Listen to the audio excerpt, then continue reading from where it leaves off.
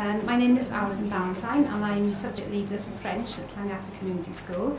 Um, the project was undertaken by the uh, French, Welsh and English departments, so in collaboration with Mich Miss Michelle Pugh, Head of Welsh, and Mr Simon Rees, who is currently Head of English.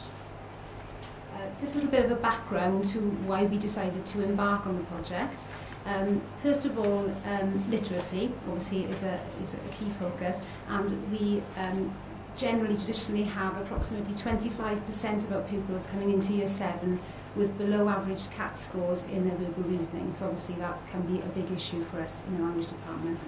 Um, many pupils we found um, were not really demonstrating ability to transfer skills from one language to another. Um, pupils traditionally lacking confidence in oracy and dealing with unfamiliar vocabulary and we had a huge drive obviously to increase motivation as we always are and to increase the number of pupils carrying on with language learning beyond Key Stage 3 and obviously the whole school drive to ensure a consistent approach to raising levels of literacy.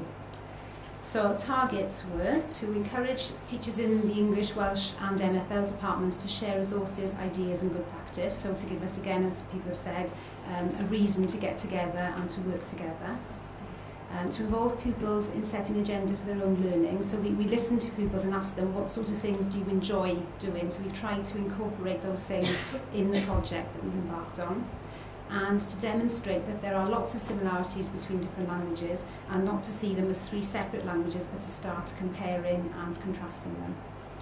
Um, so what did we do? Well, the first activity we embarked upon was a quiz. Um, this was the idea from our head of English, Mr Simon Rees, um, registration quiz, which we were very um, enthusiastic about first. We tried to sort of roll it out right throughout the school, um, which, which did work. I mean, eventually we kind of incorporated just with year 10 and year 11. But basically the quiz was where um, we tried to incorporate um, three languages. So we tried to think of questions whereby they would be doing word activities, um, in, in French, in Welsh, in English, trying to look at news stories, getting them to, to, to get information from keywords, etc. And I'll show a little bit more about that later on. The second project was a drama project, because one of the things the children said was that they, they like to act, they like to sort of have that that mask and, and sort of act behind that, and that, that was really popular, and we'll see some of that later. And the third was a spelling bee, uh, year seven particularly keen to, to have a little spelling test because they were used to doing that in primary and they liked the competitive element. Uh, so the first activity registration quiz I've mentioned, um, Mr Rees set up an electronic quiz which he sent out to form tutors at the start of every week um, and pupils had time in registration to complete the quiz and then there'd be a prize at the end of the week for the form to come back by the deadline which is 12 o'clock on Friday he's very strict about that um, with the highest score so a box of chocolates to share or um, the class allowed to go five minutes early for lunch that kind of thing. Uh, just to give you an example of one of the quizzes. So we've just got um, uh, word search mystery. So that could be words in various languages. They wouldn't be given the list of words. They'd have to find them and then guess the connection between the words. Um, uh, so typical English, um, just trying to guess and you can see that kind of thing, which, which all seem really popular with them.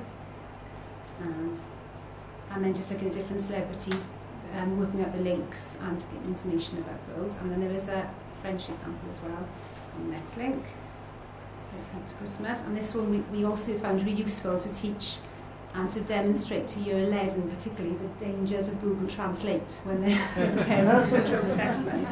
Um, so I let Mr Rees sort of go well with that when He typed them into Google and these are the, the Christmas songs that the translations came up and the pupils had to use a dictionary to try and work out what the original song was. So they really enjoyed that. It was really good fun. so that was the quiz. Uh, sorry. Okay, the drama project. Um, this probably proved to be the most popular, particularly with pupils in year 7 and 8. Um, so our year 8 pupils were involved in developing and performing a sketch in three languages. Um, a huge amount of work went into obviously trying to find an idea, but in the end we settled on the fact that in the Welsh and French departments we had a common topic of food and drink, which we were working on last summer, and pupils used the vocabulary and structures that they've been taught in class to perform a sketch, um, and the, the English department provided the drama workshop to actually stage it. Um, so basically, the, the theme is we found a, a very short sketch online, which was where um, a waiter I was in a cafe and a really difficult family arrived and he gets all the orders mixed up. But we, what we did was we, we developed that to actually have that in three languages. So the waiter was unable to speak any language but English. The, child, the uh, Welsh family arrive and order their food in Welsh and he has to try and cope with, with how he could understand what they wanted to eat. Then a French family arrive and order their food in French and then of course he gets the orders mixed up Um, and then it's the, the fun element of how they're eating the different food and actually they quite like it in the end and then they all start to chat. So I have got a, a quick clip to show you. I just, we just fast forward a bit you see the, the part of the sketch. and, just sort of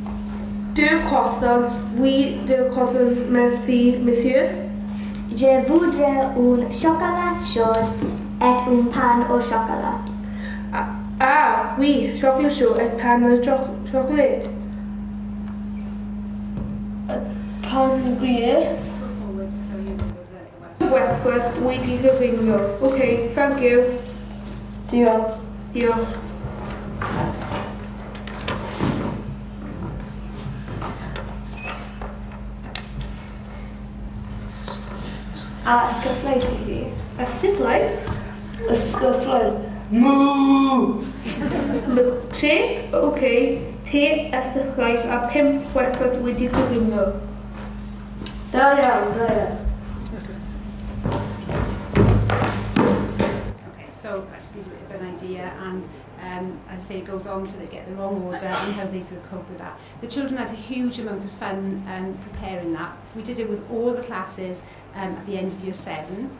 Um, and then um, obviously what we found was that the videoing of it was the bit that a lot of them they wanted to do it, they didn't want to be videoed, so we just chose a small group that were brave enough.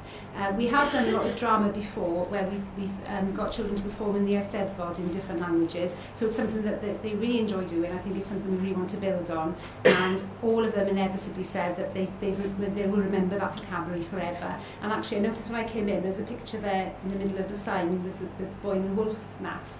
Um, those pupils um, have now left our school probably about two or three years ago and they performed a sketch for the, when we um, started the CBLC project about five or six years ago and the girl on the left hand side Jordan did GCSE French she got an A star with us and she said one of the last things she said to me was I always remember the words from that play you taught us in year seven so I think it just shows that they can recycle that vocabulary and it, it always sticks they have so much fun doing it. Okay. So the spelling bee, um, this was an idea obviously with year seven saying that they liked the competition of, of trying to spell new words. Uh, so what we did was we incorporated the keywords that, that pupils were using in their French, Welsh and English lessons into the new um, school diary because we had a new school handbook uh, produced this year. Um, and then uh, pupils were given a, a page, a dedicated page for each language in their planners and in their, their year seven registration time um, time was given for them to practice and learn words, and then they had an interform competition, so a spelling competition where each form would choose two people in the class who were the best spellers, and then they would eventually compete against other forms in, in year seven, and that was a huge motivating factor for them. Um, so the outcomes. Uh, people's confidence in oracy has definitely increased. Um, some of the pupils you saw performing there in the play are, are pupils who, who lack confidence in class, um, who find pronunciation really difficult, and they've all said that they've, they find that much easier now and they're more prepared to have a go um, pupils are more aware of how important it is to pronounce things clearly. When they have to perform something like that, they, they realise by watching it back afterwards that if they make a mistake, it can have an impact on understanding. So they, they're less worried about making the mistakes because it's fun, but they appreciate they have to work really hard at it to make sure it's clear. Uh, pupils tend to take far more risks in their language lessons. They're recycling vocabulary that we've used um, in our drama um, sketches, etc. And they, the pegs obviously were more inventive with their work and use that in their own work. And what we originally intended was that they would make links between languages. Um, I think another thing to point out as well is that pupils now don't see the Welsh and French department has been in, in competition with each other, which we found was an issue in Key Stage 4 particularly. They'd say, oh, I'm not going to do French, I'm going to do Welsh because and that's not a problem. We just we want to see they're working together. And I think because we've done that, they're more inclined to want to take more than one language as well because it's not competition anymore, which is great. So the way forward, um, obviously we want to continue with all three projects because they've been hugely successful. Um, we'd like to embed the quiz into the PSHE curriculum um, and maybe encourage older pupils to start to devise a quiz for younger pupils because the thing that Mr Rees found was it, it's quite hard to have something different every week because you, know, you soon start to run out of ideas but the pupils are very inventive and they come up with lots of nice ideas for them.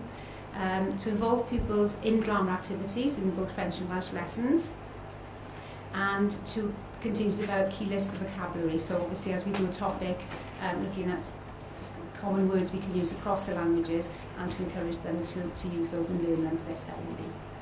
Uh, further projects, because we have other ideas have been sparked off from things that we have done, uh, we'd like to